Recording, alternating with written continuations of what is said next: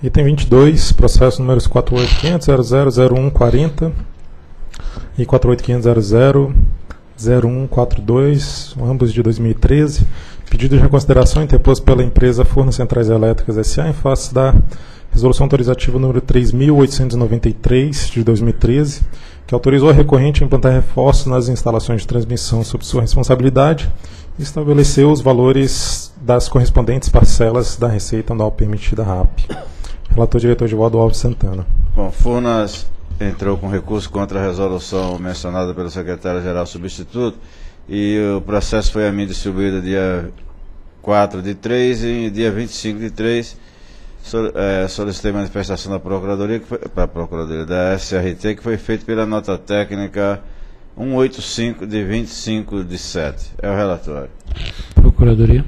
Procuradoria opina pela presunção de juridicidade da decisão a ser proferida pela diretoria.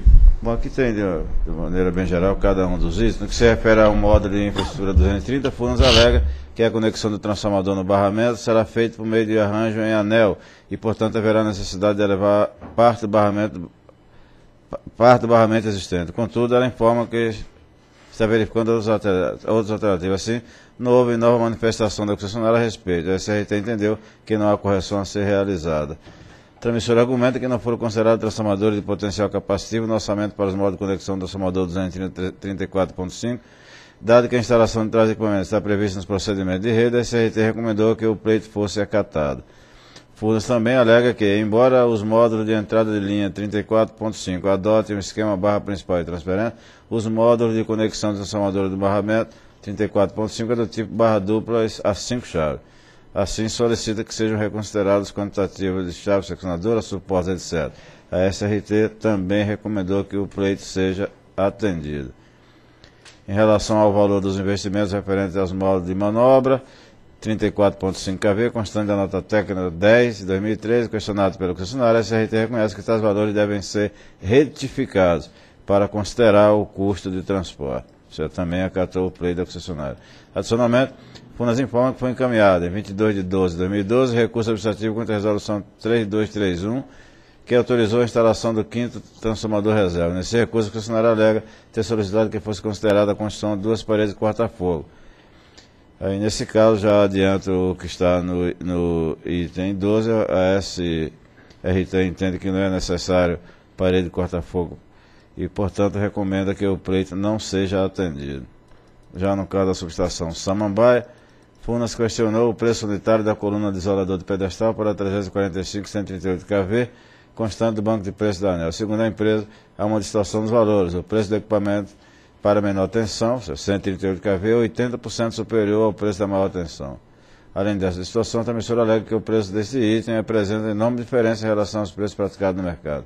A SRT informou, pós consulta de minha assessoria, que não há distorção entre os valores dos questionamentos em relação ao nível de tensão. Segundo a superintendente, a empresa deve ter se confundido ao consultar o banco de preços, pois a coluna de isolador para 345 kV está orçada em R$ 707,59 e a de 138 em R$ 189,58.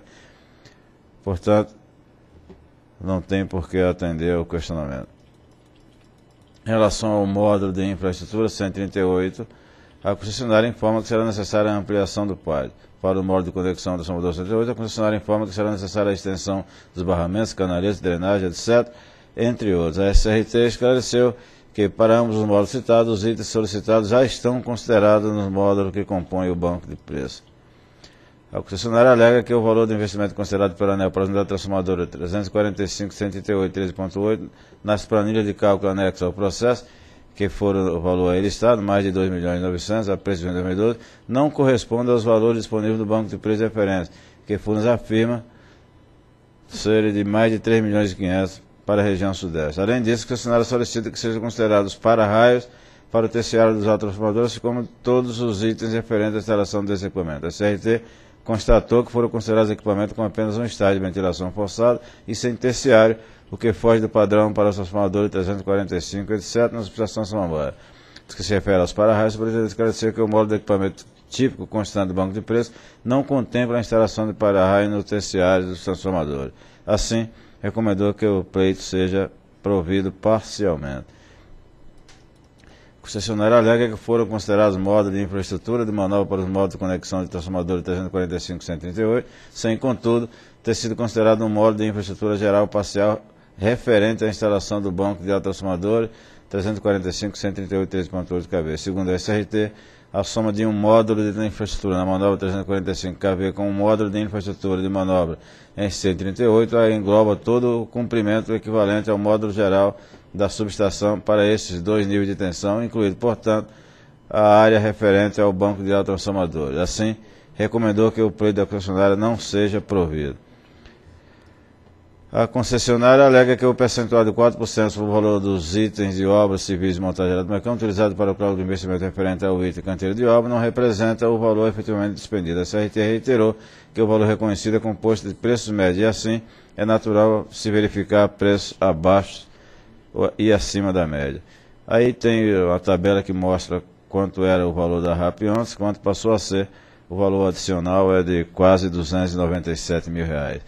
Diante do exposto do que consta dos processos, voto por conhecer no mérito acatar parcialmente o recurso administrativo interposto por Furnas, que, é, que autorizou, a resolução que autorizou a RAP, no sentido de alterar a parcela total da RAP autorizada para os empreendimentos, de mais de 2.553.000 mil reais para mais de 2.849.000 mil reais a preço de junho, mantendo-se inalterada a data de operação comercial dos reforços autorizados. É o voto. Em discussão. Em votação. Voto com o relator. Também voto com o relator. Proclamo que exerceu por conhecer no mérito acatar parcialmente o recurso administrativo interposto por Furnas contra a Resolução 3.893 de 2013, que autorizou a concessionária a implantar reforços nas instalações de transmissão sob sua responsabilidade e estabeleceu o valor do correspondente parcela da RAP, no sentido de alterar esse valor de 2.553 para pouco mais do que 2.849 mil reais a preço de junho de 2012, mantendo-se inalterado todas as operações comerciais dos reforços autorizados. Bem, é, estamos aqui no, chegando no nosso limite. Eu é, vou sugerir ao secretário que chame só o bloco, no, no caso ficou o bloco de um, né, secretário? Que aí encerra o bloco. E nos termos da, da nossa norma, eu sugiro que os itens não deliberados, que são quatro ao todo, um relatado por mim, três pelo diretor Edivaldo, já ficam, não um pelo diretor André, né, e dois pelo diretor Edivaldo, já ficam inscritos nos termos da, do artigo 25 da norma 18, já para a próxima reunião. Então, por favor, o bloco.